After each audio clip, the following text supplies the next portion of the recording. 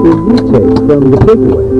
News, sharp insight, and listeners' perspectives on what's happening right now.